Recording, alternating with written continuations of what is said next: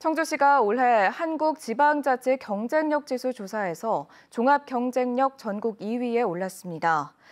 청주시는 한국공공자치연구원이 전국 자치단체를 대상으로 실시한 평가에서 좋은 평가를 받아 2위를 차지했습니다.